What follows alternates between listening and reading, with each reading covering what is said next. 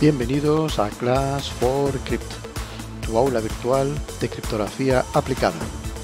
Clase número 8.6c. Algoritmo AES, parte 3, Subbytes, Shift Mix Columns y Add Round Key.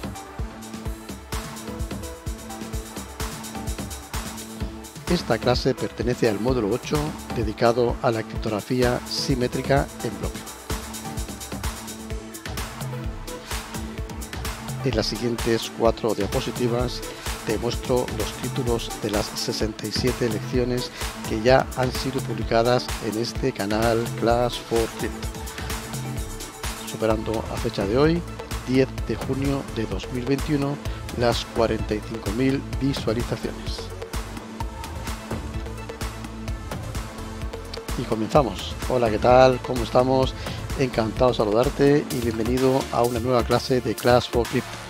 Hoy la última clase correspondiente al módulo 8 de criptografía simétrica en bloque, con la lección 8.6c, algoritmo AES, parte 3 y final, Subbytes, Shift Rows, Mix Columns y Arrow Key. Nuestra agenda será la siguiente. 1. Esquema de AES y recuerdo de operaciones en campos de Galois GF 2 elevado a 8. 2. Función subbytes. 3. Función shift rows. 4. Función mix columns. Y 5. Función add ranking. Aquí tenemos un resumen y esquema del algoritmo AES en la lección publicada ya hace un par de semanas, en la lección 8.6a, algoritmo AES parte 1, visión general y fortaleza damos unos conceptos generales y hablamos de las características principales del algoritmo AES y de la fortaleza de su clave y además entregamos un esquema como el que veis aquí a la derecha. Lo importante recordar es que pues, el algoritmo AES tenía cuatro funciones principales, que era la función ArrowKey, SubByte, ShiftRouse y MixColumns. Y hacía un conjunto de vueltas, haciendo inicialmente una transformación inicial, que era un ArrowKey, un simple XOR, con la matriz de texto en claro y la matriz correspondiente a la clave.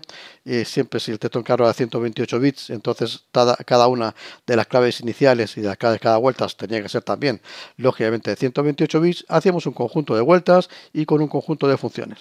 Para el descifrado, habrá que hacer el recorrido inverso. Ir desde el texto cifrado hasta el texto en claro otra vez utilizando exactamente las mismas claves, KSUR, KSUR-1, KSUR-2, KSU2, KSU1 y KSU0, eh, pero no utilizando las mismas funciones, sino que las funciones inversas, es decir, la inversa key, la inversa shift rows, la inversa subbytes y la inversa mix columns. También es interesante recordar que en el algoritmo AES se usan operaciones en polinomios, es decir, representamos un byte por un polinomio y hacemos operaciones de suma, multiplicación, etcétera, con lo cual hay que hacer en algunos casos reducción polinómica, es decir, reducción a un módulo, pero el módulo no va a ser un número, sino que el módulo va a ser un polinomio, como ya lo hicimos en la lección de la semana anterior, la lección 8.6b, parte 2, campos de Galois y extensión de clave hablamos sobre el algoritmo de extensión de clave para poder calcular cada una de las claves en las vueltas en función del tamaño de clave inicial. Y además hicimos un ejemplo básico de qué son las operaciones en el campo de Galois, eh, básicamente en el, en el cuerpo que nos interesa que es el 2 elevado a 8, es decir, lo que representa a un byte.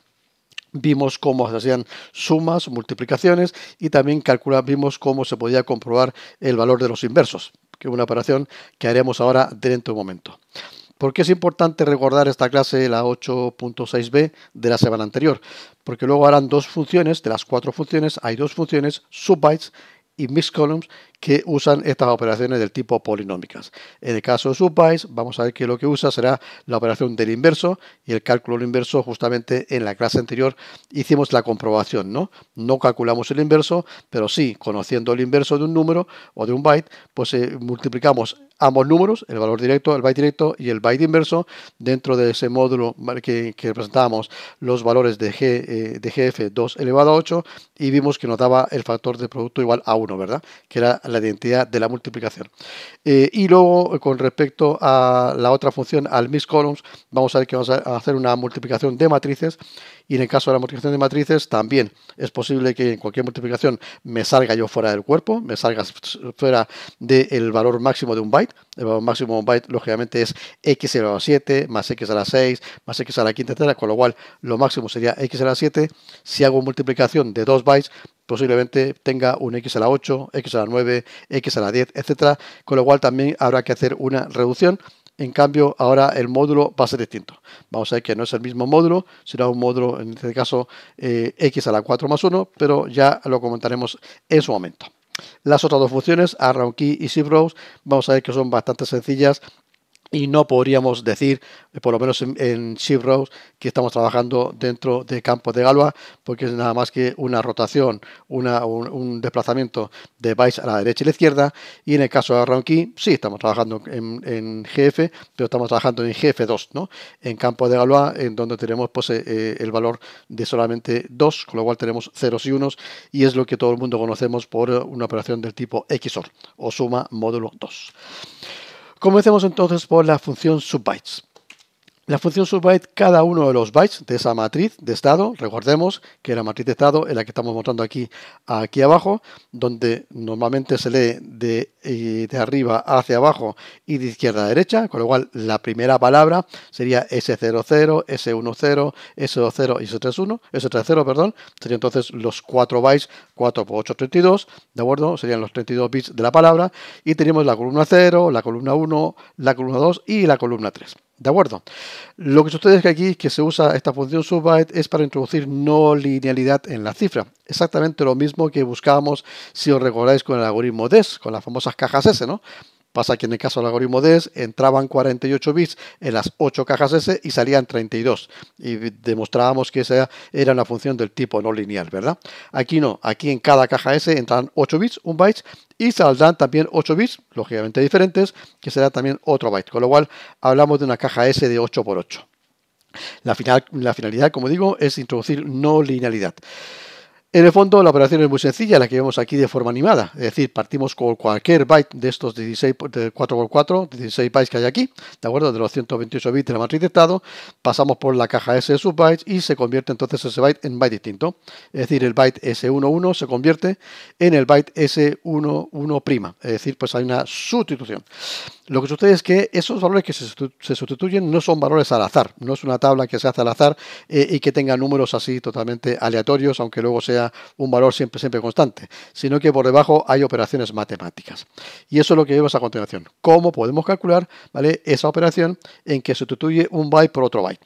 Es el cálculo de la función subbytes que veremos a continuación.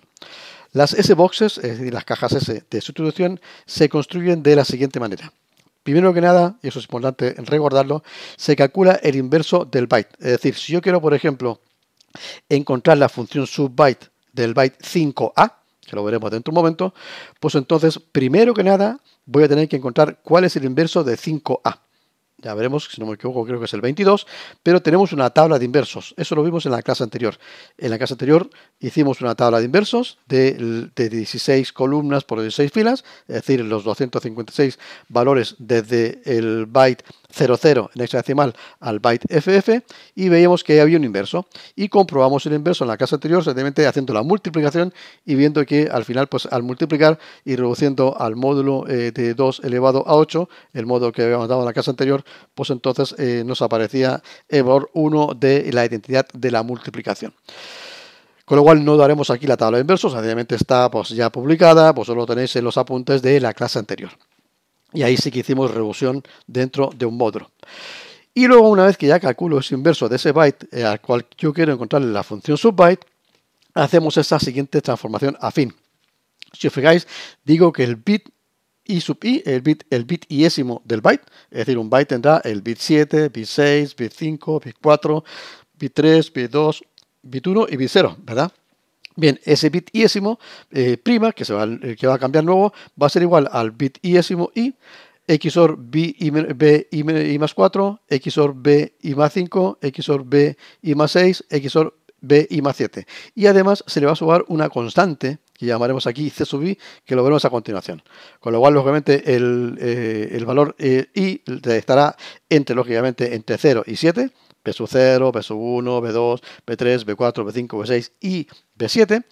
Eh, B sub i será, lógicamente, el iésimo byte de cada, bit de cada byte, perdón, y el C sub i será el iésimo bit del byte C de una constante que los autores han entregado este valor en número 63 en hexadecimal, que en binario corresponde, el 6 corresponde al 0110 y el 3 corresponde al 0011. Bien, pues entonces lo que tenemos que hacer ahora es representar esta transformación afín a través de una matriz. Y vais a ver que es muy fácil. Vamos entonces, primero que nada, a resolver todas las operaciones que eh, aparecía como esa transformación afín. Es decir, convertir el B, sub 0 en B sub 0', convertir el B sub 1 en B sub 1', hasta convertir el B sub 7 en B sub 7'. Y estas ecuaciones que aquí pone B sub 0, X sub B4, B5, B6, B7 y C sub 0 corresponde a la ecuación anterior, sencillamente reemplazando el i igual a 0, 1, 2, 3, 4, 5, 6 y 7. Si os fijáis entonces, esto de aquí luego al último todo aparecen los valores que corresponden a ese vector llamado c sub i, eh, que sería c0, c1, c2, c3, c4, c5 y c6, el número que vimos en la diapositiva anterior, que en hexadecimal era el número 63, pero esto yo lo puedo representar mediante una matriz. Fijaros que es muy sencillo. Vamos a hacer una representación matricial de esta transformación afín en subbytes. Primero que nada es recomendable mm, recordar que normalmente escribimos los, los bytes como B0, B1, B2, B3, B4, B5, B6, B7. Pero hay que recordar que B7 es el bit más significativo, el que está a la izquierda, y B0 es el menos significativo, el que está a la derecha. Con lo cual, entonces, en este caso, pues eh, cuando lo hacemos a nivel de matrices, en una matriz del tipo pues, eh, solamente de columnas, hay que leer ¿vale? estos bits, lógicamente, de abajo hacia arriba. B7, B6, B5, B4, B3, B2, B1 y B0. Esta matriz que está aquí es nada más que una representación, la ecuación que está ahí arriba. Fijaros, el B sub 0' era igual al B0 más, cuando digo más, lógicamente es, XOR, estamos trabajando en módulo 2, B4, B5, B6, B7. Si veis aquí, aquí aparece el B sub 0, el 1. Pero luego del B sub 0 paso automáticamente al B sub 4. No tengo ni B sub 1, ni B sub 2, ni B sub 3. El B sub 0 lo tengo puesto aquí. Pero aquí, aquí estaría el B sub 1 con un 0. Aquí estaría el B sub 2 con un 0. Aquí estaría el B sub 3 con un 0. Pero ya tengo B sub 4 aquí, B sub 5, B sub 6 y B sub 7, que son los que están aquí. ¿De acuerdo? Y luego el C sub 0 sería para el primer valor y lógicamente el C sub 0 es el que estamos viendo aquí, que sería este 1 que está aquí. Y este 1 corresponde lógicamente al valor menos significativo de ese valor 63 en ese decimal que era 0, 1, 1, 0, 0, 0, 0, 1, 1. ¿De acuerdo? Este 1 que está aquí. Eh, las demás ecuaciones son exactamente lo mismo. Por ejemplo, el B sub 7' es, como veis aquí, B sub 7 más B sub 3 más B sub 4 más B sub 5 más B sub 6. Fijaros, tenemos el 3, el 4, el 5, el 6 y el 7. No tenemos el 1, el 2 y el 3. Y aquí lo tenemos. El B sub 1 es un 0. El B sub 2 es un 0. El B sub 3 es un 0. Pero ya, eh, perdón, B sub 1, eh, B sub 0, perdón, el B sub 1 y el B sub 2. Pero el B sub 3 es un 1, el B sub 4 es un 1, el B sub 5 es un 1, el B sub 6 es un 1 y el B sub 7 es un 1. Eso sea simple. ¿De acuerdo? Bien. Y lógicamente, pues el último número, el C sub 7, sería este 0 que está aquí, ¿de acuerdo? Y este 0 que está aquí sería el valor más significativo que está a la izquierda, ¿verdad? Bien, lo importante es que este número que aquí aparece, que supuestamente era el byte al cual yo iba a sacarle la función subbytes, ya es el inverso. Es decir, primero que nada, ¿os acordáis lo que dijimos? Primero que nada calculamos el inverso. Y una vez que calculamos el inverso, aquí representamos ese byte, lógicamente como B7, B6, B5, B4, B3, B2, B1 y B0, pero ya no es el byte al cual estoy sacando el subbyte, sino que es el byte inverso, ¿vale? Eh, porque primero se parte con el inverso. Veamos un ejercicio y vais a ver que es muy sencillo. Aquí tenemos un ejemplo de operación de subbyte del byte 5A sacado del NIS. En el NIS hay distintos ejemplos de cifra y lo podéis comprobar allí. Lógicamente la documentación la entrego al final de la clase. Fijaros, tenemos lo siguiente. Primero que nada, el byte 5A ¿Cómo se puede representar? Pues en hexadecimal, lógicamente el 5 sería 0101 y la letra A sería el 1010. hacemos la representación en polinomio y lógicamente el x a la 7 no existe porque hay un 0, el x a la 6 sí existe, aquí está el x a la 6, el x a la quinta no existe porque hay un 0, el x a la cuarta y el x al cubo, como veis aquí hay dos unos, x a la cuarta y el x al cubo, el x al cuadrado no aparece, no está, el x sí aparece, ahí está el x, y aquí como hay un 0, entonces no tengo un más 1. Bien, pues vamos a la tabla de la clase anterior y vemos que el inverso de 5a es igual al 22. Y el 22 corresponde al 2, 0, 0, 1, 0 y otra vez al 2, 0, 0, 1, 0. Como digo, esta tabla de inversos está entregada en la clase anterior y no la vamos a repetir una diapositiva en esta, en esta clase porque tenéis vosotros los apuntes y tenéis los PDF de las clases anteriores. Pues bien, entonces, ¿qué tenemos que hacer? Tenemos que multiplicar esa transformación afín representada como una matriz, es lo igual que lo que estaba en el anterior, pero fijaros que aquí ya no aparece el byte 5A, sino que lo que aparece es el byte 22, es decir, 0010, fijaros que hay que leer siempre de abajo hacia arriba, y luego 0010, ¿vale? El 2 aquí y el 2 aquí. Y a continuación, pues hay que hacerle un XOR con los distintos valores que corresponden a C, a, C ¿os acordáis? El C0, el C1, C2, C3, C4, C5, C6, hasta el C7 que era un 0, ¿verdad? Están puestos aquí. Bien, ¿Qué tenemos que hacer aquí? Algo muy sencillo. Hay que hacer multiplicar filas por columnas, ¿vale? Si yo hago multiplicando fila por columna, fila por columna, la fila 1 por la columna, esta columna de aquí, la fila 2 por la columna de aquí, la fila 3 por, eh, aquí, ¿qué, ¿qué es lo que obtengo? Obtengo otra vez una columna, lógicamente con 8 valores, que son sus resultados. Y esos 8 valores hago un XOR con el valor correspondiente que está a la derecha del XOR. También podríamos hacer bastante más rápido de la siguiente manera.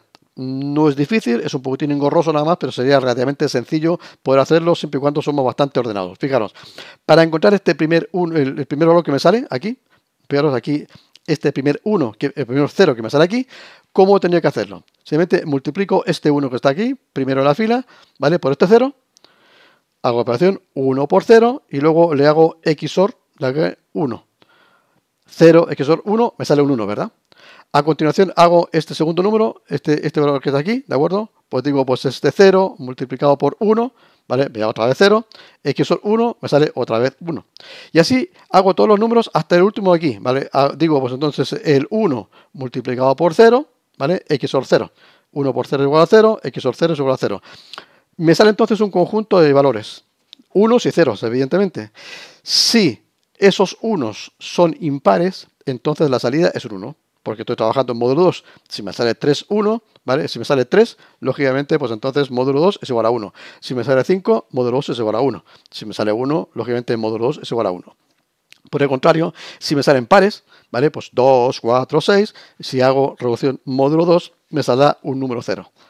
Con lo cual, entonces, Hacemos eso multiplicando fila por columnas y haciendo la suma correspondiente al valor que le corresponde aquí de, cada uno de esta, de esta última columna, que es el C sub i, pues entonces voy obteniendo esos números que ahí aparecen, os lo dejo como ejercicio, como digo, no es complicado, es un poquito tedioso y es relativamente fácil poder equivocarse si no se es suficientemente ordenado, pero al final tenemos ese resultado que ahí aparece y entonces tenemos ya los bit, el bit 7, fijaros siempre de abajo hacia arriba, bit 7, 6, 5, 4, 3, 2, 1, de eh, la sustitución del byte 5A. Bien, pues entonces el byte 5A, una vez que le hago el subbyte, ¿en qué, se, ¿en qué se me queda? Como veis, si leo de abajo hacia arriba, el primer nivel sería 1, 0, 1, 1. 1, 0, 1. Y eso corresponde a la letra B. Y el segundo, el segundo nivel sería pues 1, 1, 1, 0, que 1, 1, 0, que corresponde a la letra E. Con lo cual yo digo que el subbyte de 5A, ¿de acuerdo? Corresponde a BE. Y así lo puedo hacer con cualquiera de los bytes que tenga de los 256 posiciones posibles. Es decir, desde en hexadecimal 00 hasta en hexadecimal FF. Una vez que yo tengo hecho esto, para todos los valores de 00, 01, 02, 10, 14, 16, 1A, 1F, 2 hasta FF, pues entonces tendría una tabla que ya será fija. Esa tabla no va a cambiar nunca, va a ser fija, con lo cual es como si tuviésemos una tabla de Villeneuve. Es una tabla fija que va a ser ya siempre, siempre, no va a cambiar jamás. Es decir, siempre que me aparezca en algún sitio un byte igual 5A y tenga que hacer un subbyte, me va a salir siempre, siempre, ¿vale? Un valor igual a BE, siempre, siempre. Lo mismo que los inversos. Si yo quiero sacar un inverso de 5A, siempre, siempre saldrá que sea el número 22. ¿Está claro? Bien, pues entonces, como veis, es importante, ¿vale? Recalcar que vamos leyendo de abajo hacia arriba, que hay que hacer estas multiplicaciones con cierto cuidado para no equivocarse, eh, y al final pues voy a tener pues para cada byte ¿Vale? De los 256 bytes posibles, desde hexadecimal 00 hasta hexadecimal FF, tendré un valor distinto y va a ser único. Es decir, cada subbyte va a ser único para el byte anterior. ¿Está claro? Bien, pues entonces una vez que tenemos hecho esto, hacemos una tabla, la tabla subbytes. Como veis aquí tengo un total de, de 0, 1 hasta el 9 y luego A, B, C, D, F.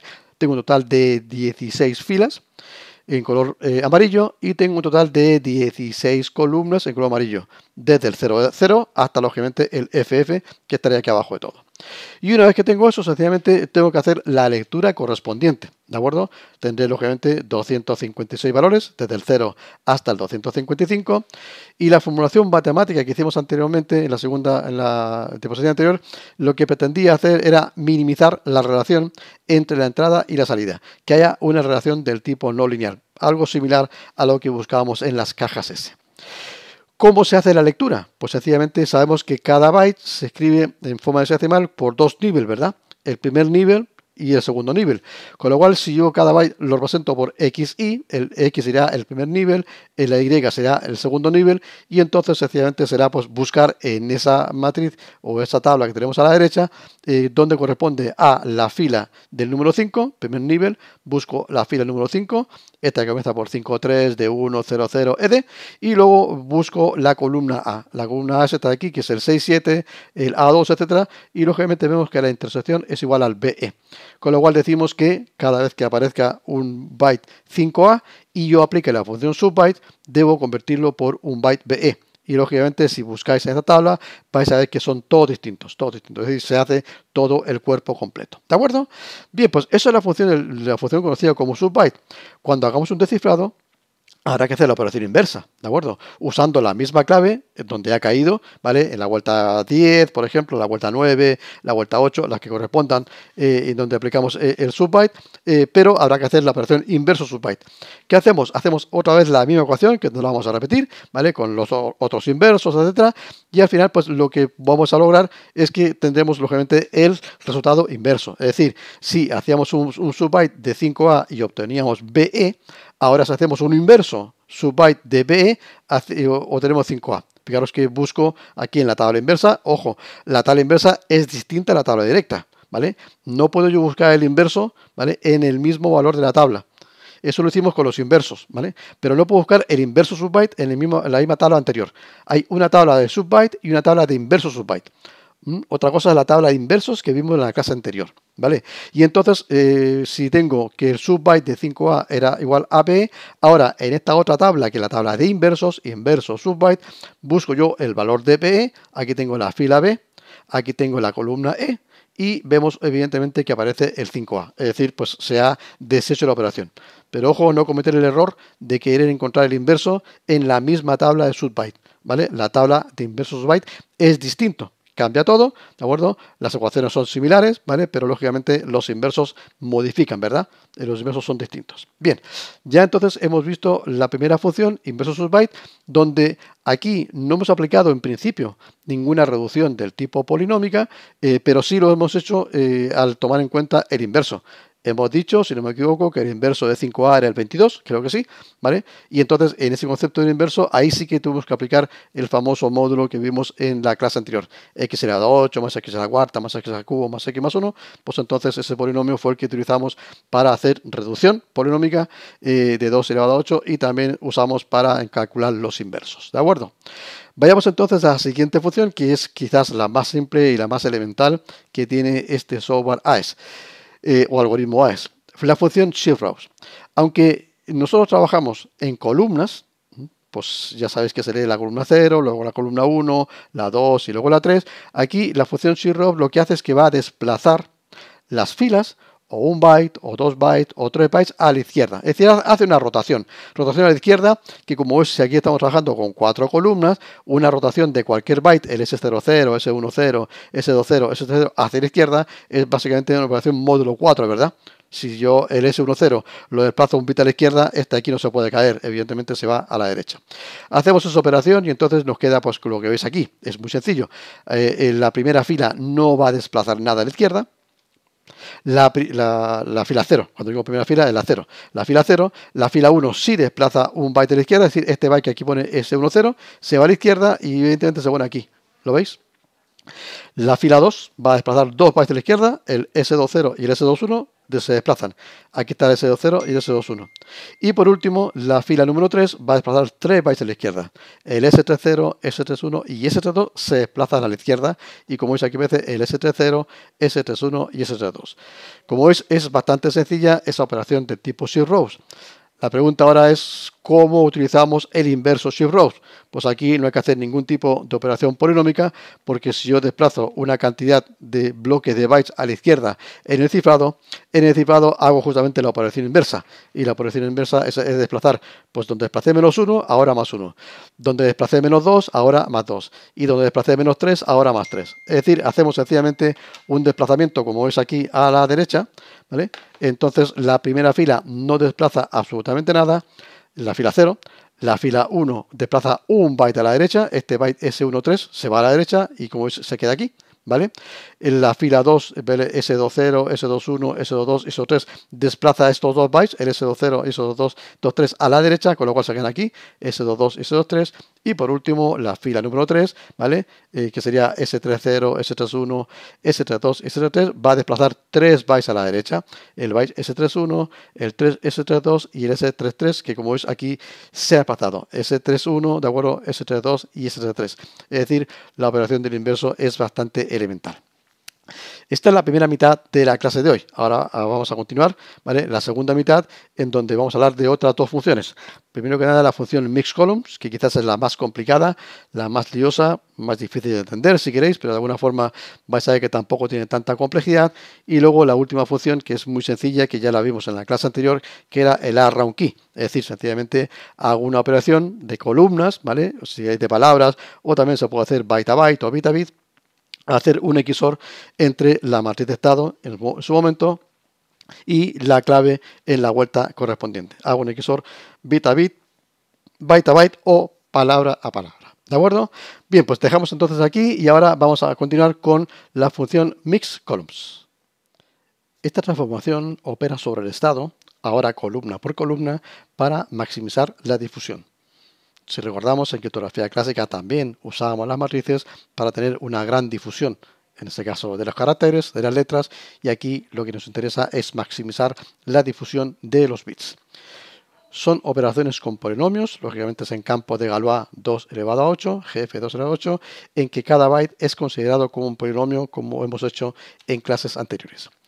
Cada columna se va a multiplicar y ahora se va a reducir a módulo x elevado a 4 más 1, un polinomio que no es irreducible y por lo tanto no necesariamente es invertible, pero sí para un par de polinomios que son los que usan estos autores en este, en este algoritmo AES.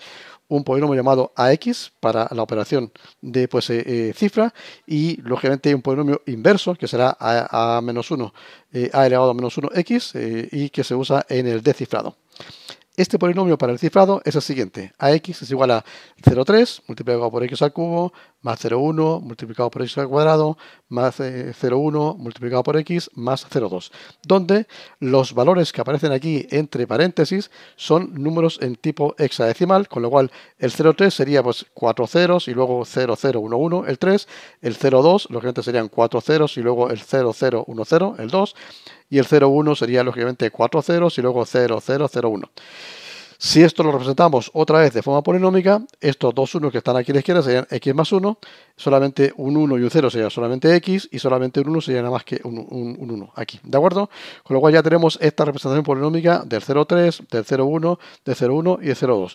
Lo interesante es que esa, justamente esa, ese polinomio ax tendrá una inversa y es inversa en el módulo x elevado a 4 más 1 y esa inversa va a ser lo que llamaremos a a la menos 1 de x, es decir, el valor inverso que lógicamente se va a utilizar para el descifrado.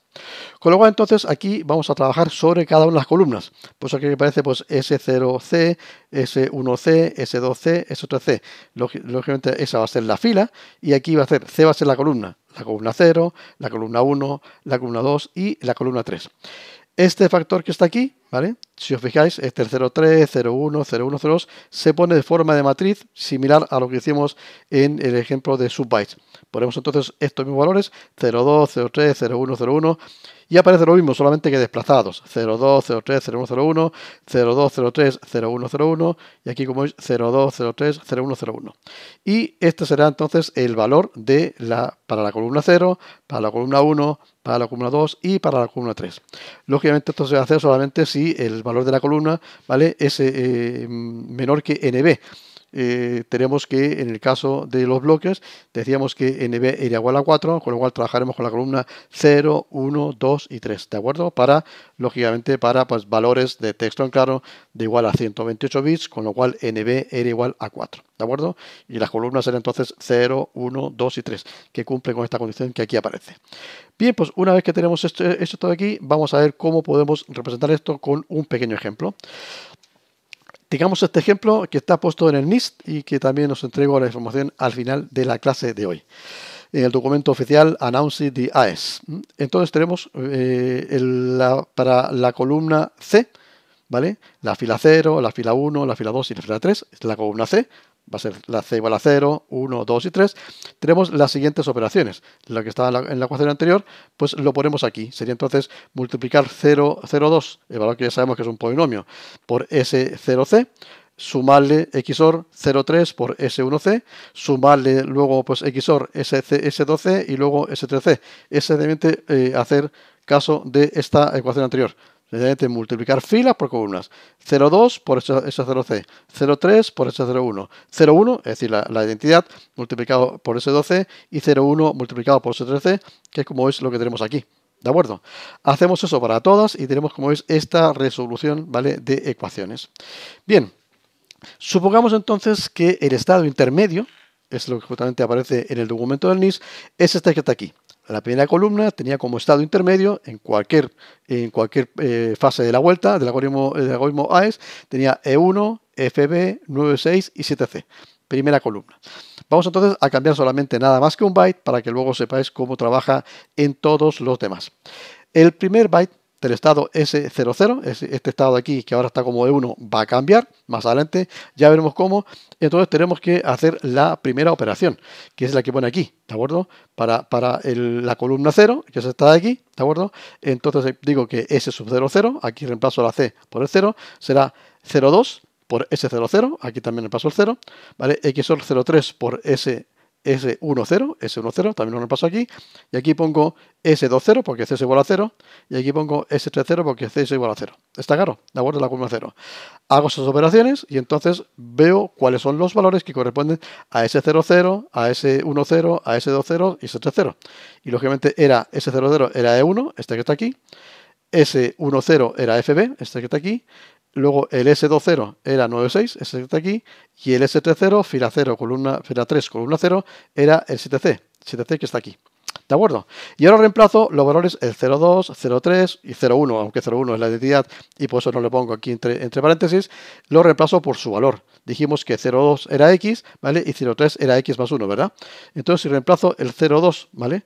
Eh, por el x, entonces me queda que 02 multiplicado por e1 es este de aquí. 02 es igual a x y e1 es igual a pues eh, si reemplazo el valor de, que corresponde a 1, lo podéis hacer vosotros, ¿de acuerdo? Sería x a la sexta más x a la séptima más x a la sexta más x a la quinta más 1. Sería el valor del nivel e y el nivel 1. Lo pasáis a, polinomio y os tiene que dar este valor de aquí. Hacemos la, la, multiplicación y como veis tenemos el pequeño problema de siempre, ¿no? Me salgo del cuerpo, porque si multiplico x por x a la séptima queda x a la 8 x por x a la sexta, x a la séptima, ningún problema, x por x a la quinta, x a la sexta y x por 1, x. Tengo, que hacer una reducción eh, de, este valor de x elevado a 8. ¿Qué es lo que hay que hacer? Yo os entregué ya en una clase anterior bibliografía de, mi documento antiguo para poder ver cómo se hace la reducción polinómica, pero también lo que podéis hacer vosotros es sencillamente nada más que eh, reemplazar x a la 8, si es, x a la 8 nada más, reemplazarlo por x a la cuarta. ¿Por qué? Porque lo que se hace con esta expresión x a la 8 más x a la séptima más x a la sexta más x, se ve cuál es el valor que yo puedo utilizar, ¿de acuerdo? Eh, eh, para pues, el polinomio x a la cuarta más 1, que es justamente el polinomio eh, reducible, ¿no? que estamos, el polinomio que vamos a reducir, el módulo, ojo, no es reducible, lo vamos a, reducir a ese polinomio x a la cuarta más 1, si yo entonces multiplico ese polinomio x a la cuarta más 1, que es el módulo, lo multiplico por x a la cuarta, ¿qué voy a tener? Voy a tener que x a la cuarta multiplicado por x a la cuarta me va a dar x a la 8, 8. Con lo cual me parece dos veces x a la 8 cuando haga una reducción módulo 2 me queda 0. Con lo cual en el fondo podemos hacer esa operación que como digo, quien no lo entienda bien, que vaya a mis apuntes en color azul, ya lo mostraré luego al final de la clase, para poder hacer esa reducción, que es una forma relativamente más cómoda, eh, o bien sencillamente, ¿vale? Pues por hacerlo, por así decir, un poquitín a la mala, reemplazamos eh, x a la 8, lo reemplazamos por x a la cuarta, ¿vale? Hacemos entonces esa reducción módulo x a la cuarta más 1, y me sale un conjunto de, valores que están aquí indicados, ¿vale? Y entonces, si os fijáis, eh, al reducirlo por x a la cuarta más 1, el x a la 8 desaparece, me queda así el x a la sexta, me queda el, x a la sexta también me queda, me queda el x a la cuarta, ese me va a quedar, ¿de acuerdo? Y me queda el x, y al final pues eso me va a quedar un número que es igual al de 2, exactamente igual de 2. Como digo, lo dejo como ejercicio para que vosotros lo hagáis. Y luego multiplico este otro valor, el 0,3 por ese 1. 1, 0. El 0,3 dijimos que era x más 1, lo vemos en la diapositiva anterior. Y el valor de S1, S1 dijimos que era FB fb, ¿de acuerdo? Sería pues x a la sexta más x a la séptima más x a la sexta más x a la quinta más x a la cuarta, es decir, 1, 1, 1, 1, ¿de acuerdo? Y el b sería pues x a, la, al cubo más x más 1. Está claro, sería pues el, el, el, el 1, el 1, 0, 1, 1. ¿De acuerdo? Que sería el valor de, eh, correspondiente a la, a la letra b en hexadecimal. Hacemos la multiplicación y lógicamente, si os fijáis, me queda este, este, valor que está aquí. Hacemos lógicamente la reducción módulo 2, ya está hecho, ¿no? Eh, porque entonces, lógicamente, si aquí multiplico este x, multiplico por un 1 que está aquí, ¿de acuerdo? Y este 1 lo multiplico por esta x que está aquí, pues tendré 2x como mínimo. Y ese 2x, como veis, desaparece. Aquí no hay ninguna x. Hace entonces multiplicar esto, hacer la reducción módulo 2 y vais a ver que os queda x elevado a 8 más x al cubo más x al cuadrado más 1. Hacemos otra vez la misma reducción que decía yo de módulo x elevado a cuarta más 1 y os va a quedar 1d. Como digo, si no lo veis claro, pues eh, os, envío luego a los apuntes míos cuando terminemos la clase para que veáis cómo se hace ese tipo de reducción. Bien, pues ya tenemos entonces indicado que este primer valor, 0,2 eh, multiplicado por S00, corresponde a esto que está aquí, de 2. Tenemos este segundo valor, 0,3 multiplicado por S10, corresponde a 1D. Y tenemos eh, los valores, este de aquí, el S20 corresponde a 96 y el S30 corresponde a 7C ya tenemos toda la operación hecha. Sencillamente hacemos nada más que la suma, ¿de acuerdo? De 2, que era el primer valor que aquí, más 1D, eh, que era el segundo valor de aquí, más 9,6, que era el tercero, más 7C, que era el cuarto. Evidentemente, cuando digo más, es un XOR. Hacemos el XOR, bit a bit, byte a byte, como queráis, ¿de acuerdo? Y os va a salir el número 25. Con lo cual, ¿qué quiere decir? Una vez que aplicamos la operación mix columns, este primer valor, que ya será el valor euro, va a cambiar a 25. Y exactamente va a suceder algo similar con FB, 96, 7C y luego columna a columna, byte a byte va a suceder exactamente lo mismo. Como veis, pues es un poquitín más complicada la operación mix column, pero tampoco es algo de, otro mundo, ni mucho menos. ¿no? Es bastante, bastante fácil poder entenderlo. Otra cosa que luego tenga cierta dificultad porque es relativamente sencillo, eh, si lo hacemos en papel y, a mano, poder equivocarnos con esas multiplicaciones de x será 8, x será 9, etcétera. Hay que ser bastante meticuloso y con bastante cuidado. Con lo cual hacemos todas esas operaciones, no solamente para este primer byte, ¿de acuerdo? Que era el S00, sino que para eh, el S, lógicamente, pues el que está más abajo, ¿de acuerdo? El S10, el S20, el S0 para la columna 0, hasta lógicamente el S33, ¿de acuerdo? Aquí, aunque aquí he puesto S44, en realidad este S44 aquí es una, pequeña rata, lógicamente eso va a tener que ser pues S fila 3, columna 3, ¿de acuerdo? Esto es un error que lo voy a, corregir luego en los apuntes. Lógicamente eh, el, último punto aquí corresponde a la columna 3, fila 3, no a la columna 4 porque trabajamos con siempre, siempre la primera fila y la primera columna siempre era el número 0. Pues aquí este 44, eh, como digo, pues eh, hay que, que, darlo por 3, 3. Bien, pues esto sería entonces la función del tipo eh, columns. ¿Qué sucede cuando yo tengo que hacer ahora la operación inversa de descifrado? Pues entonces tengo que utilizar la misma clave con la cual estaba trabajando, pero utilizando la función inversa a la anterior. ¿vale? Si entonces eh, lo, que, lo que hacíamos en la transformación columns era multiplicar por este polinomio a de x 0,3x al cubo, 0,1x al cuadrado, 0,1x y 0,2, ¿vale? Que era primo relativo con x más 1. Su inverso será, ¿vale? A la menos 1 de x y entonces vamos a ver que ese número es este que está aquí. Entonces el inverso será 0b x al cubo más 0d eh, x al cuadrado más 0,9x más 0e, donde representamos otra vez los valores que están entre paréntesis. El 0b sería 4 ceros y la b, el 1011, el 0d sería 4 ceros y la letra d, el 1101, el 0,9 sería 4 ceros y el 9 que sería 1001 y por último el 0e serían 4 ceros, primer nivel y luego 1110 representamos eso como polinomios y lógicamente aquí tenemos el más 1, aquí tenemos el x, no está el x cuadrado, está el x al cubo, lo tenemos aquí. Aquí tenemos el más 1, el x no está, pero está el x cuadrado y está el x cubo, aquí. Aquí tenemos el más 1 y tenemos solamente el x al cubo, no está x cuadrado y no está x. Y aquí no estaría el más 1, pero sí estaría el x, el x al cuadrado y x cubo, como es aquí. Ya tenemos hecho la operación. Ahora, ¿qué hacemos? Otra vez lo mismo, ¿de acuerdo? Y entonces tenemos esta otra matriz, que era, como veis, 0b, 0d, 09, 0e. 0E, 0, 0B, 09, 0, 0B, 0D, 09, 0E, 0B, 09, 09, 0E, ¿de acuerdo? 0, 0B, 0B, 0D, 09, 0E y por último 0B, 0, 0B, 0D, 09 y 0E. Como veis, exactamente los mismos valores que se van desplazando y se multiplica por el valor de aquí y se obtiene entonces la función inverso columns. Entonces, lógicamente, cada una de las columnas va a cambiar eh, los bytes eh, de acuerdo a esta función inversa, que es similar a la anterior, solamente que la multiplicación es de, por otros valores, que lógicamente ese a a la menos 1 de x es el inverso en este módulo x a la cuarta más 1 de este valor que está aquí, 0,3, 0,1, 0,1 y 0,2. ¿De acuerdo? Esa entonces es la función como es conocida como inverso miscolumns, que quizás es la más compleja dentro del algoritmo AES. Y por último, para ir terminando con las funciones y ya luego hacer los ejercicios prácticos, tenemos la función key y también la inversa key, las dos conjuntamente. Es nada más que una suma módulo 2, es decir, estoy trabajando en GF2, en donde tenemos la matriz de estado, Normalmente si trabajamos con 128 bits de texto de entrada, la matriz de estado será una matriz de 4 filas por 4 columnas, ¿de acuerdo? De 16 bytes, y entonces esa matriz va a ir cambiando en función de las operaciones que hagamos de around keys, rows, mix columns, eh, que sea subbytes, etc. Y entonces en cada una de las vueltas se va haciendo una suma or exclusivo, que se conoce como around key, con la clave que le corresponde. Inicialmente con la clave caso 0, antes de hacer nada, y luego ya con la clave caso 1, caso 2, caso 3, hasta la última clave caso R. Y esta es una operación, lógicamente, pues del tipo XOR, y como es XOR, el XOR es involutivo. Con lo cual, pues la misma función se aplica dos veces y se obtiene la identidad, como ya hemos comentado en clase de aritmética modular. Entonces, la función key lo único que hace es que hace una suma, como veis, una suma del tipo XOR. El primer byte, ¿de acuerdo? Lo suma con el primer byte de la clave. El segundo byte, el S10, lo suma con el segundo byte de la clave. El tercer byte, S20, lo, lo suma XOR con el tercer byte de la clave y el cuarto byte S30 lo suma con el cuarto byte de la clave.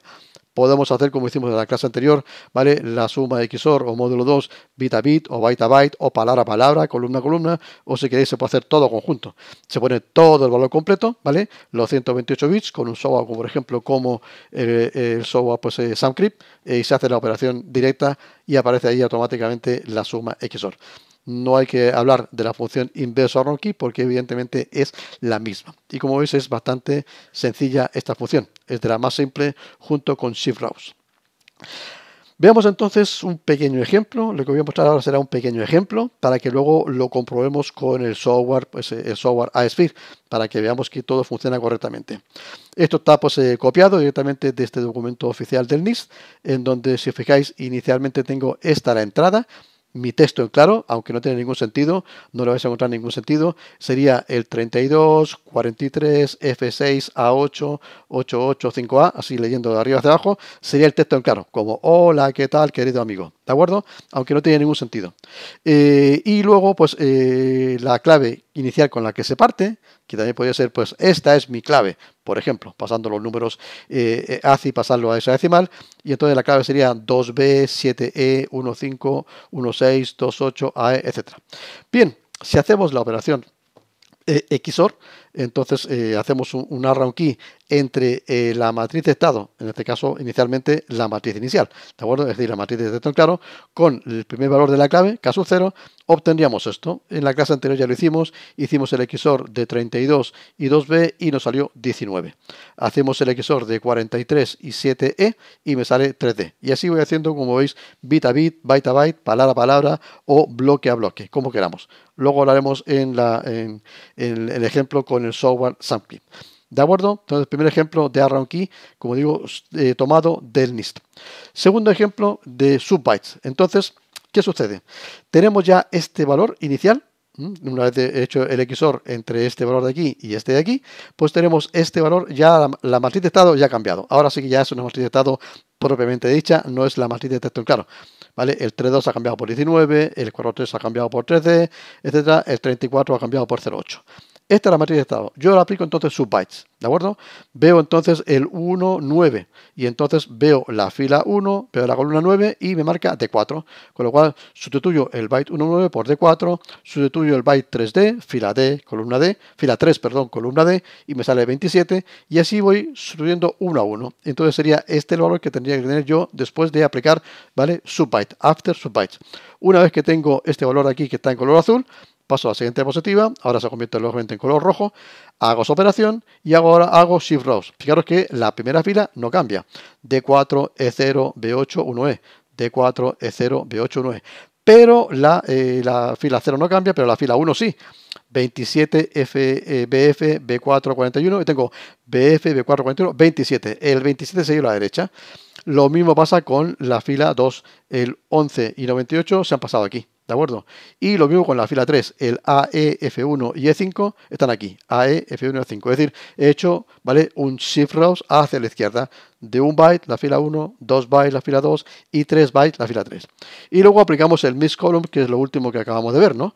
Tenemos ya este valor inicial, color en color rojo y si aplicamos el mix columns, aplicamos un mix column de D4, hacemos la multiplicación de las matrices, la reducción módulo, etcétera, etcétera, y entonces el D4 se va a convertir en 0,4, el BF en 6,6, el 5D en 8,1, el 3,0 en E5, etcétera, lo podéis comprobar vosotros sin ningún problema, no hay ningún problema.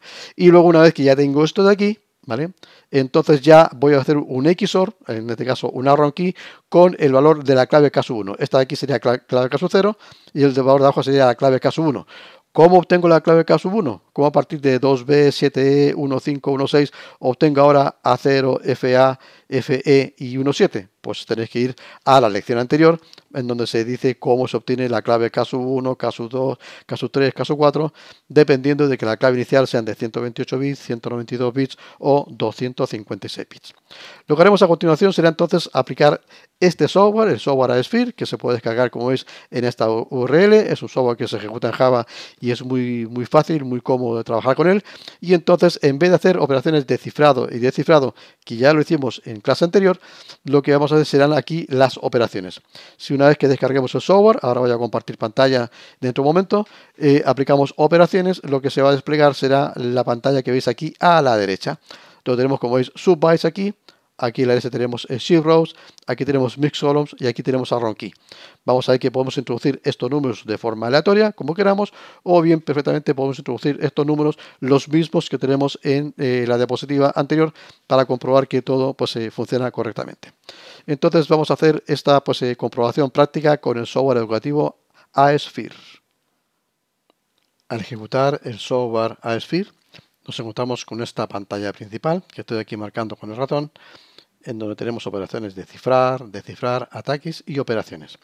Si pinchamos en operaciones, automáticamente lo que nos aparece es lo que estáis viendo vosotros aquí a la izquierda arriba, donde tenemos las operaciones subbytes, shift rows, mix columns y arrow key.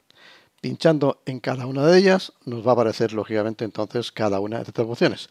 Como en la diapositiva de la derecha, lo primero que hemos hecho es la operación arrow key con la matriz de estado del texto en claro con la matriz de clave caso 0, entonces la primera operación que haremos será la que está arriba a la izquierda. Como veis, ya he puesto los valores iniciales para no tardar tanto tiempo y entonces tenemos en la entrada, el primer, por ejemplo, palabra del texto en claro era 32, 43, F6 y A8.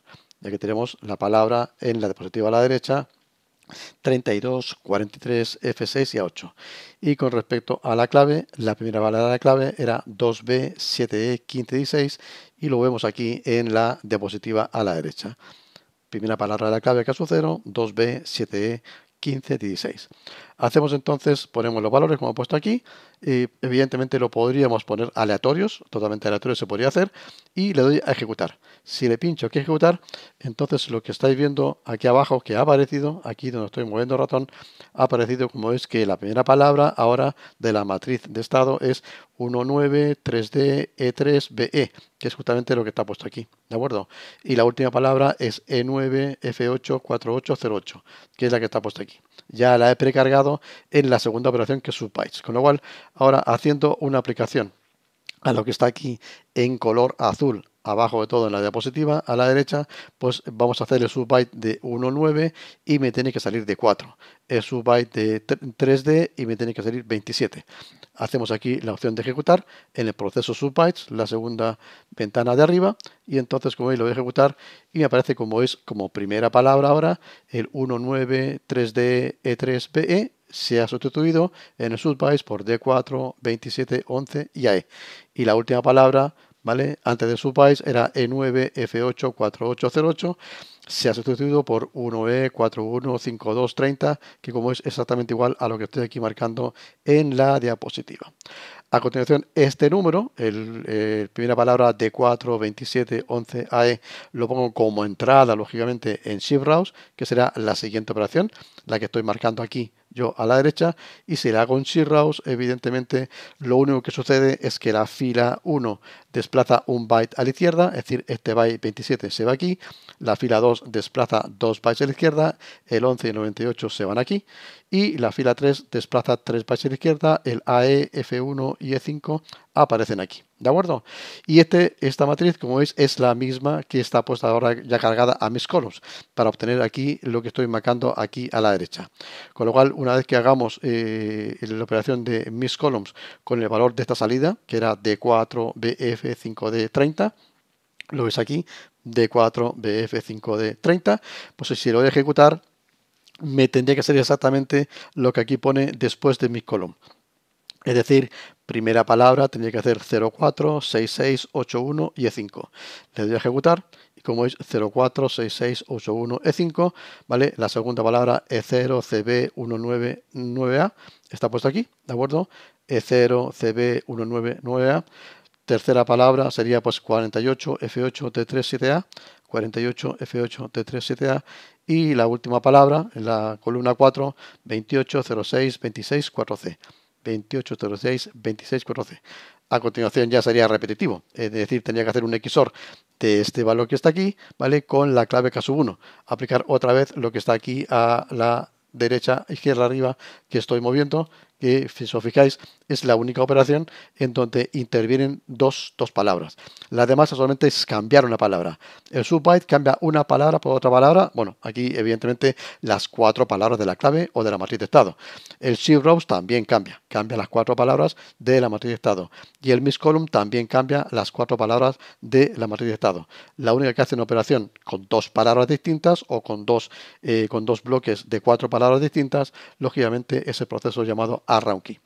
Y con eso pues queda demostrado que como veis el software este educativo también puede comprobar los valores que están indicados en este documento del NIST. Información multimedia en píldoras TOT.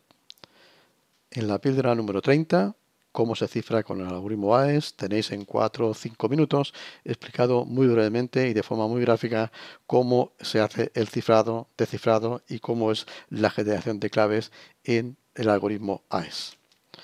Y vayamos a las conclusiones de esta lección 8.6c, la última del algoritmo AES. AES opera con polinomios y usa cuatro funciones fácilmente invertibles, usando la función directa para el cifrado y la función inversa para el cifrado, con las mismas claves en ambos casos. Subbyte para el cifrado e inverso subbyte para el descifrado, shift rows para el cifrado e inverso shift rows para el descifrado, mix columns para cifrado e inverso mix columns para el descifrado y por último arrow key para el cifrado e inverso arrow key para el descifrado. y hemos visto que quizás las únicas que tienen cierta complejidad son subbytes y miscolumns, porque tanto shift rows como ahorro key, un simple QSOR, son bastante sencillas de entender, de explicar e incluso de hacer las operaciones. Bytes y Mixed Columns trabajan a nivel de byte y palabra de 32 bits y si fuese necesario, porque hay multiplicaciones, como sabéis, el Mixed Columns es multiplicar matrices y el SubByte hay que hacer inversos, donde hay multiplicaciones de números, entonces si fuese necesario habrá que reducir a un módulo que será un polinomio primitivo en el caso de SubBytes o bien un polinomio que no es primitivo, que no es irreducible en el caso de Mixed Columns, pero que sí tiene un inverso como hemos comentado en la clase de hoy. Con lo cual, al igual que sucedía con las operaciones que hacíamos de cifrado clásico con matrices, el algoritmo de Hill, que se hacía una operación de cifrado con la clave o con la matriz directa, en el de cifrado había que utilizar la matriz inversa. Pues aquí exactamente es lo mismo, solamente que en vez de letras estamos trabajando con polinomios. Por el contrario, hemos visto que Shift Rouse es, es un simple desplazamiento de bytes, es una rotación módulo 4 y Arrow Key es una función XOR, bit a bit, byte a byte, palabra a palabra o bloque a bloque. Os voy a entregar entonces una lectura recomendada y luego iremos a las URL donde os voy a mostrar eh, para los que no han podido entender del todo cómo se hacen las reducciones a de x elevado a cuarta más 1, lo vamos a hacer mostrar dentro de un momento. Tenemos la píldora TOT número 30 que acabo de mostraros hace un momento, cómo se cifra con el como AES del año 2015. Luego el documento oficial del NIS, eh, Federal Information Processing Standard Publication, Announcing the Advanced Encryption Standard del año 2001 el documento Reindol a fondo del doctor Alfonso Muñoz, que también hemos comentado en clases anteriores, eh, mi libro electrónico de informática y criptografía, bastante antiguo, del año pues, 2006, eh, en su versión 4.1 y en el módulo 12 dedicado al cifrado simétrico en bloque hay unas 20 páginas o un poco más, 20 diapositivas que están dedicadas al algoritmo AES y básicamente a la explicación de las operaciones matemáticas que están por debajo del algoritmo AES. Y por último, el software AESFIR de Antonio Gómez de Roberto y Roberto Sierra, eh, de un proyecto de fin de grado que tuve el placer de dirigir, que como veis eh, puede hacer operaciones con el algoritmo AES eh, de una manera muy educativa y muy fácil de poder trabajar con él. A continuación, como siempre, entonces voy a mostrar las URL donde está toda esta lectura y visualización recomendada para ya ir terminando la clase de hoy. Píldora formativa número 30. Proyecto TOT Píldoras formativas CryptoRed. Píldora número 30. ¿Cómo se cifra con el algoritmo AES? Bien, pues aquí va a aparecer cómo se hacen los cifrados con el algoritmo AES, con cada una de las vueltas. Y como es aquí ya va indicando cómo es la matriz de estado y cómo va a ir inverso cambiando. Mix columns e inverso add round key. Las funciones subbytes shift rows, mix columns y add round key. En la operación subbytes se ejecuta una sustitución de cada uno de los 16 bytes de la matriz de estado mediante una tabla. La operación shift rows consiste en una permutación de es básicamente lo que hemos visto en la clase de hoy. El segundo documento es el documento pues, Announcing the Advanced Encryption Standard, eh, el documento oficial del NIST, donde aparecen los distintos ejemplos que hemos utilizado eh, para la clase de hoy. Sencillamente recorréis este documento y vais a ver que aparecen justamente los ejemplos que hemos ido utilizando, eh, pues tanto en clase anterior de reducción a módulo, de reducción a módulo polinomio o también pues eh, de, de, ejemplo de ejercicios, ¿no? de ejercicios de simulación de un cifrado, de generación de clave, etcétera, etcétera. Os lo dejo para que lo leáis, pues es bastante rápida la lectura, son solamente 51 páginas y se lee con una pues, facilidad bastante, bastante cómoda. Bien, a continuación tenemos el criptosistema eh, a fondo, el documento del doctor Afonso Muñoz. Si pincháis aquí abajo donde pone criptosistema Random a fondo y aparece un pequeño disquete, el documento que vais a descargar es este que está aquí del año 2004 y también es lo mismo. Es una especie de un poco resumen del algoritmo del documento del NIS, solamente que lógicamente está ya traducido al español, eh, pero también pues eh, habla exactamente lo mismo. Los ejercicios eh, de cómo se hacen las reducciones y cuáles, y cuáles son las operaciones que se hacen con cada una de las cuatro funciones principales. que tiene este algoritmo AES. A continuación tenemos el libro electrónico de seguridad informática y criptografía, la versión 4.1 de fecha 1 de marzo del 2006. Si os descargáis, aquí veo que está desactualizado, tengo que poner cuántas descarga, otras 100.000 aproximadamente en el año 2020. Eh, y si os descargáis este documento tanto en el formato PowerPoint animado como en formato PDF, son pues eso, eh, unas mil y tantas diapositivas, lo que obtendréis será algo parecido hasta aquí pantallas un poquitín más en la época, en esa época antigua, muy fondos oscuros. Hoy en día ya casi nadie usa eso, lógicamente, pero tenéis el documento eh, que habla de, cómo se hacen las reducciones módulo. Y aquí tenemos el ejemplo que os decía en la clase de hoy, que si alguien se ha perdido, eh, podríamos hacer dos tipos de soluciones. Fijaros, si tenemos un polinomio como este de aquí, que es irreducible, es el que tenemos que trabajar para reducir que P, P de x es igual a x elevado a 8 más x a la cuarta más x al cubo más x más 1 es el irreducible, aunque en el mixed columns el polinomio px es x a la cuarta más 1, eh, teníamos una opción. La opción era que eh, hacíamos la multiplicación del, polinomio correspondiente y teníamos valores que estaban fuera, ¿no? Como por aquí el x elevado a 13, x elevado a 11, x a 9 y x elevado a 8. Con lo cual, sencillamente sustituíamos una opción, era decir que x elevado a 8 era igual a x a la cuarta más x al cubo más x más 1 y, y representamos los valores de x elevado a 13 como x a 8, es decir, x a 3 es igual a x elevado a 15, perdón, x elevado a 5 multiplicado por x a 8. Con respecto a x a 11 sería entonces x elevado a 3 multiplicado por x elevado a 8 y donde aparecía x a 8 sustituíamos eso por su valor correspondiente, el x a la cuarta más x al cubo más x más 1. Eso fue lo que hicimos en la clase anterior. Otra forma de hacerlo es la siguiente, fijaros. Si yo tengo este polinomio que está aquí en la mitad de la positiva, eh, x a la 13 más x a la 11 más x a la 9 más x a la 8 más x a la 6 más x a la quinta más x a la cuarta más x al cubo más 1, y entonces tengo que, tengo que reducirlo a este polinomio que está aquí a la derecha, que es x a la 8 más x a la cuarta más x al cubo más x más 1, yo veo que hay dos números, ¿vale? Que son candidatos a ser divisores. Uno es x a la quinta y otro es x al cubo. ¿Por qué? Porque justamente en la línea de arriba, si os fijáis, dice, para dejar los valores dentro de gf 2 elevado a 8, es decir, que tengamos como mucho x elevado a séptima, vemos que un divisor será x a la quinta más x al cubo. ¿Por qué? Porque si multiplico x a la quinta por x a la 8, me sale x a la 13 y entonces voy a eliminar el x a la 13 que me molesta.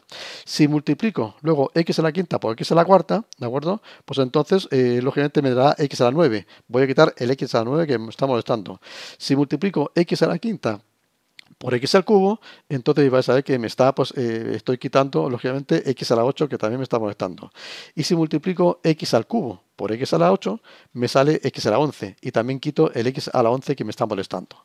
¿Cómo se hace eso? Pues muy sencillo. Fijaros que una vez que pongo pues, eh, aquí en color amarillo x a la quinta más x al cubo, lo que hago es que multiplico ¿De acuerdo? El valor de px, es decir, x a la 8 más x a la cuarta más x al cubo más x más 1, lo multiplico primero por x a la quinta y me sale lo que veis en la eh, que está arriba de la primera línea, que me sale lógicamente x a la quinta por x a la 8, x a la 13, x a la quinta por x a la cuarta, x a la 9, x a la quinta por x al cubo, x a la 8, x a la quinta por x, x a la 6 y x a la quinta por 1, x a la quinta. No hago más operaciones, automáticamente lo que hago es que voy viendo el valor que tengo y lo que tengo arriba. Y reduzco, ¿vale? Eh, reduciendo módulo 2. Fijaros que tengo arriba x a la 13 y abajo x a la 13. Dos veces x a la 13. Lo reduzco. El x a la 11 me queda. Pero el x a la 9 lo tengo arriba y abajo. Dos veces x a la 9, reduciendo módulo 2, me queda 0. El x a la 8 lo tengo arriba y abajo. Reduciendo también eh, módulo 2, me sale 0.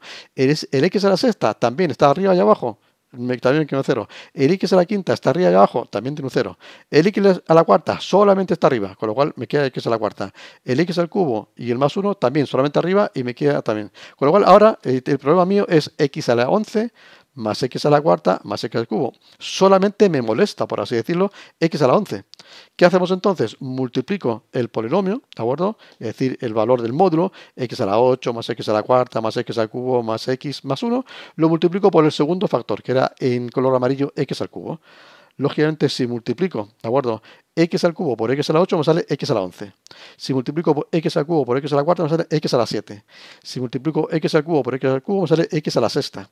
Si multiplico x al cubo por x me sale x a la cuarta. Y si multiplico x al cubo por 1 me sale x al cubo.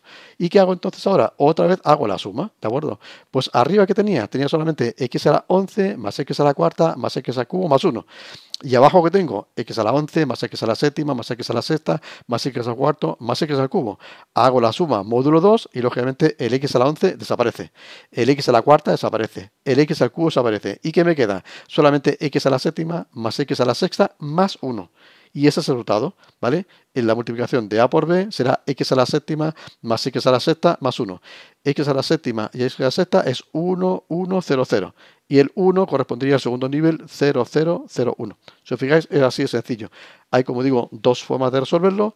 Uno como lo hicimos en la clase anterior y esta que es bastante más, eh, más rápida, ¿no? Es más rápida, pero puede ser quizás un poquitín más engorroso para quien no tenga los conocimientos de operación con polinomios. Pero como veis es muy sencillo. Voy multiplicando, ¿de acuerdo? Por el valor que me corresponda ¿de acuerdo? el polinomio px, x a la 8 más x a la cuarta más x al cubo más x más 1, por un valor de x que me permita ir quitándome los problemas, por así decirlo, y cada vez que me quito los problemas, hago una suma del valor resultado, de multiplicar ese, ese, valor de, divisor que he encontrado, x a la quinta o x al cubo, por el polinomio px, hoy voy haciendo una suma del valor anterior más el valor de resultado de la multiplicación que acabo de hacer y reduciendo módulo 2 y como veis pues tenemos la solución que es exactamente igual a lo que hicimos en la clase anterior. Y por último, aquí tenéis el software AESFIR de este par de alumnos, de Antonio Gómez eh, y Roberto Sierra, ya bastante antiguo, del año 2014, pero que sigue funcionando de una forma bastante adecuada para poder hacer prácticas con el algoritmo AES con un software eh, que es educativo. Y con eso terminamos esta presentación de las eh, páginas que tenéis que visitar, ¿vale? descargar información o bien tenéis que visualizar documentos multimedia y vamos a ir terminando la clase de hoy. Un proyecto sin ánimo de lucro. Como sabes, Class for Crypt es un proyecto sin ánimo de lucro. Si te ha gustado el vídeo, has aprendido algo nuevo con respecto a estas cuatro funciones tan importantes del algoritmo AES o has podido reforzar algún conocimiento que ya tenías sobre la materia, entonces por favor ponle un me gusta al vídeo. Si deseas expresar cualquier tipo de opinión sobre el contenido de esta clase o tienes alguna duda, por favor hazlo saber en el mismo canal YouTube. Todos los comentarios serán siempre muy bien recibidos y las dudas que tú me plantees y que yo pueda contestar eh, se harán a la mayor brevedad posible. Tienes más lecciones en el canal Class for Crypt, con lo cual te, recomiendo que te suscribas. A fecha de hoy, 10 de junio de 2021, hemos superado ya los 2.450 suscriptores, a punto de llegar, imagino que dentro de unas dos o tres semanas, a los 2.500 suscriptores. Yo me despido de esta clase, te agradezco que hayas estado en estas tres lecciones del algoritmo AES. Me imagino que con ello has podido pues, eh, comprender bastante bien este algoritmo que es el estándar actual de cifra simétrica a nivel mundial y supuestamente aún le quedan eh, algunas décadas, espero, algunas décadas de, vida en protocolos criptográficos, en cualquier tipo de aplicaciones de criptografía del tipo simétrica. Y ya te, te doy las gracias, lógicamente, por haber estado en la clase de hoy. Me despido, voy quitando la webcam, voy subiendo un poco el volumen de la música y vamos terminando la clase de hoy.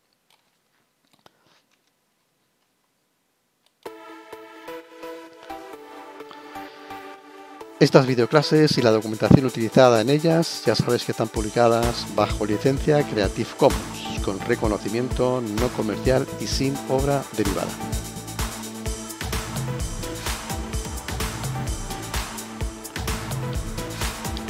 Y con esto yo me despido hasta una próxima clase, pero sí te tengo una pequeña sorpresa. Dentro de muy poco vamos a publicar el reto número 5 de este módulo número 8 intenta resolverlo eh, y demuestra que has aprendido todos los conocimientos que os hemos dado en este módulo número 8 dedicado a la criptografía simétrica en bloque. Te envío un abrazo, cripto saludos y nos vemos dentro de unas pocas horas donde voy a publicar el reto número 5 de este módulo 8. Adiós.